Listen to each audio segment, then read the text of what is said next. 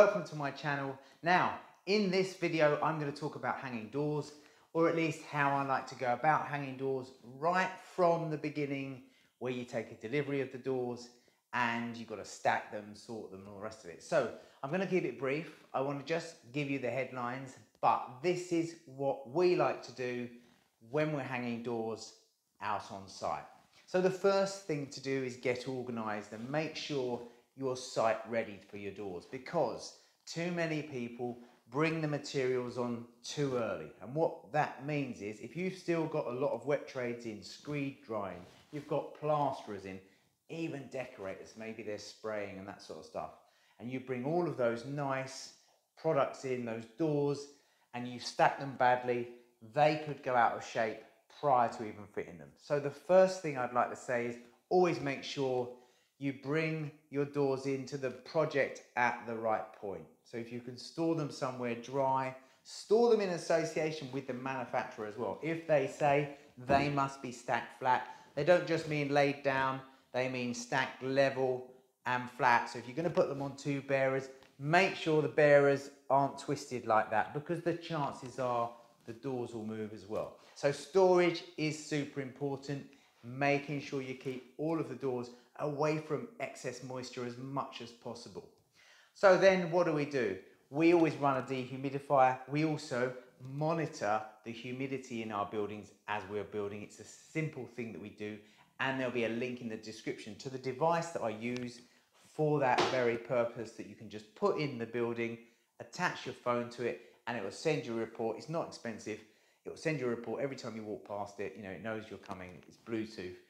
And that's a really useful thing to do to make sure you don't incorporate moisture into all of your nice joinery. So here are the doors. I'm using an XL joinery door. I use a lot of XL joinery doors. They're very reliable. These are pre-finished in oak. So a lot of doors come in pre-finished, some even pre-painted, which means that when you're handling them right from the beginning, when you unwrap them from your level flat pile, check them. So the first thing you do is you check the door over before you even hang it and make sure it's got no damage or defects.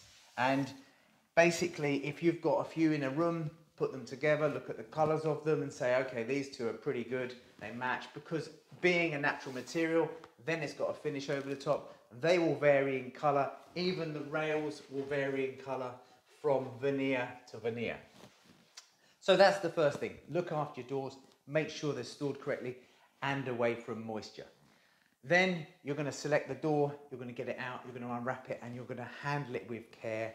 Make yourself a stand to support your door for while you're working on it or use something like this which is you know this is actually designed for it. It's got very soft jaws that spring the door. It's nice and heavy. It holds them straight up and enables you to do some work on the door. And I can operate that with my foot so I can lay the door down and operate with my foot then what we need to do is obviously get our linings ready so that means preparing the lining we use some small blocks like this now these blocks that I make, excuse the screw falling out, these blocks that I make represent the door's thickness or just a little bit more.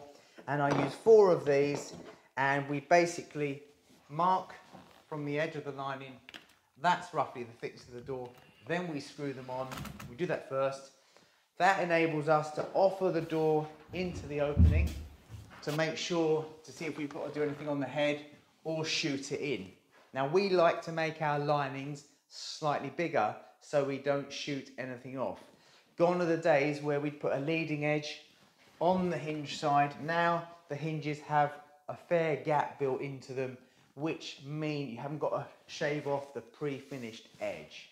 So that's another thing as well. So we like to make sure we can get our door linings at the right height, that we haven't got to cut too much off the bottom or any. We also don't want to take anything off the side. So it's all about getting your linings right. So once we've screwed our blocks to the side, we then are ready. We've already done our hinge cutouts on the lining. So this is my simplified hinge jig. It's a clamp-on hinge jig. It's very easy to use because it just follows your marks. It's got a bearing guided router piece which will work in any small router, even a medium sized router. That follows it round. It's super quick. But what I'd like to do, as I'm doing lots of these, is I take an offcut of timber, like this one here, and using my jig, I actually create a full height hinge jig. And that means I can race around the job, butt it up against the tops, screw it onto the linings, and do all of my door linings first.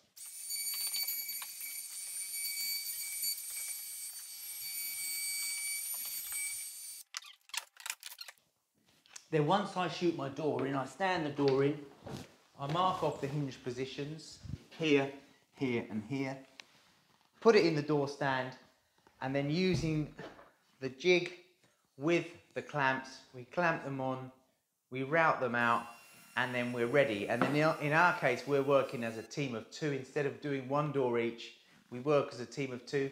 They are heavy doors, so it's good to have a pair of hands. And so in this case, Ed will follow me along as I've routed one out. He'll use his chisel just to remove the last little corners for the hinge. And then Ed was piloting them with these little centering bits and then screwing the hinges on. Now notice that we screw the hinges on, we start them off with a proper screwdriver. We just let them go through with a screwdriver, a battery screwdriver, then we finish them off by hand. A lot of the screws that you find, even though they're chrome, they're not that hard. And as you drive them through the first skin of oak before you get into, say, the softwood core behind, because these are an engineered door, they get warm, they get hot, and they have a tendency to break or snap. So you really don't want to do that. You want to finish it off by hand and know that you're not putting too much force through it. So that is another important tip. So once you've got it to that stage, you've got your hinges in your door. The next step is obviously bring it in, put it on your airbags in the open position, gently pump them up. I like to operate them with my feet. Just look at the side hinges. They're going to clip in and then you can attach them to the pre-piloted lining and then you're, you're there. That's the door ready for its handles. So then at that stage we do our locks and handles, but we'd go round, we'd swing them all first to this position um, and make sure that we've got a little block there to stop them swinging right through the lining and cranking the hinges. We then go around putting our locks and latches in. So because we've got quite a lot to do on this job, and they're pre-finished doors. So what I don't like to see personally is when you see pencil marks all the way around them because they're awfully hard to get off sometimes. So what I've done is made a really simple jig, a lock and latch jig. So this represents the latches, this represents the bathroom locks, and it's a matter of slotting it over the door in the right position. These handles are going exactly central of the door. So this would go over We'd clamp it on here. We'd use the router. That would route out the fore end for the latch. We'd then pilot through the sides. That would give us our spindle position. Then we'd whip it off. We'd just gently take that off there. Bore down our 22 millimeter or 25 millimeter, whatever size you're using, hole for our latch. Latches in, handles on. And then on the lining as well, We've also got this, which represents the keep for the latch and also the keep for the bathroom lock. And that's again, this is the edge of the lining, that reference there. So I would position it straight on the side of the lining, use the little router, that will take out the profile that I need. Then I'll use a 15 mil drill, bore out the mortise inside for the keep and the lock and that's that as well and it's super quick.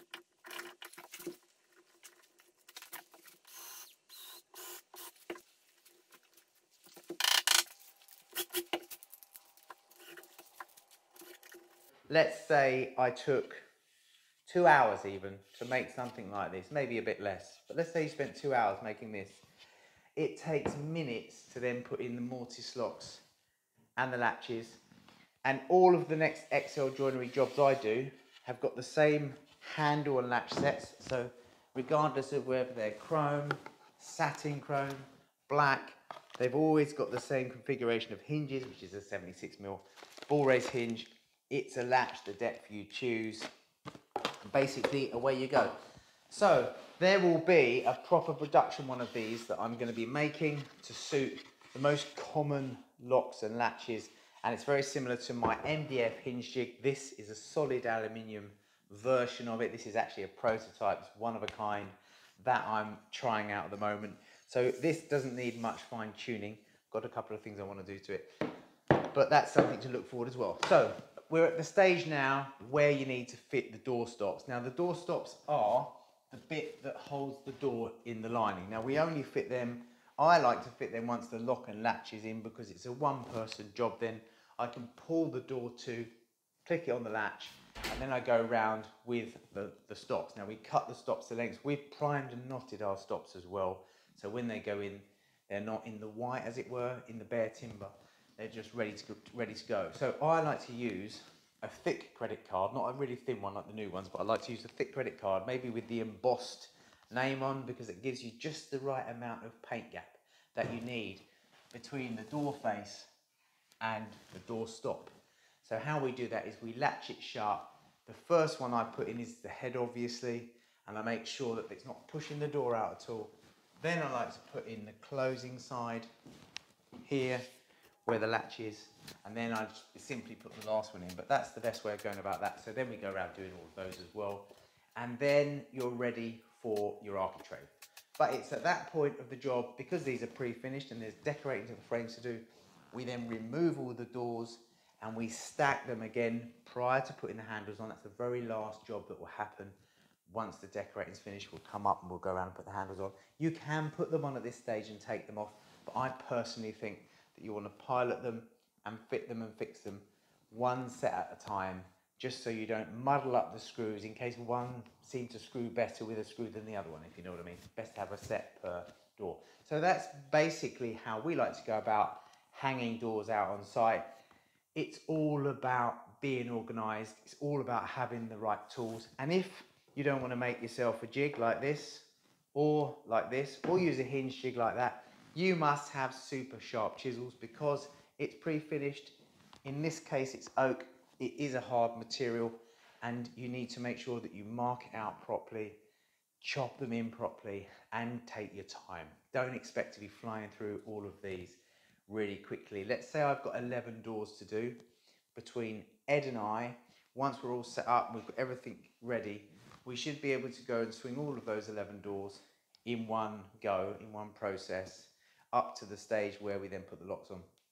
And then it's just a matter of going around and gently popping the jig on, clamping it on and doing the locks. Now a little tip, if you're using a jig like this, it's a combi jig, I'll call it a combi jig, so it's got the lock and the latch.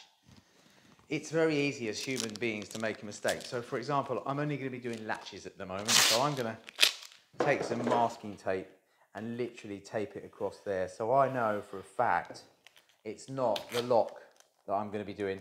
What I don't want to do is put it on the door, get disrupted, uh, go away, come back, have a cup of tea, put this on, and then accidentally route out for the lock, which is going to be in the wrong position. So that's a little tip there, is just pop a bit of masking tape over or something like that to make sure we don't make an error. And if you do make an error, then you have to splice it in, polish it back, and that will take you as long to do that as it will to probably hang three doors. So anyway, I hope you've enjoyed this video. As I say, take your time, make sure you read the manufacturer's instructions about how to store, stack, handle, select, and most of all, make sure your frames and your linings are in good shape. You always got a little bit of tolerance if the architrave isn't on as well. This is a, um, something else to ease the leg in and out. So ours are screwed.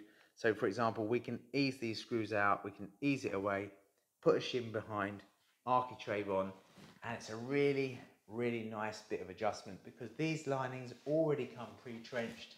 They've determined the width of the legs and they are bigger than the doors now. They used to be the same size as the doors and we'd always have to cut the edge off with a plane. Anyway, I hope you enjoyed this video. Please subscribe to my channel. Thanks a lot.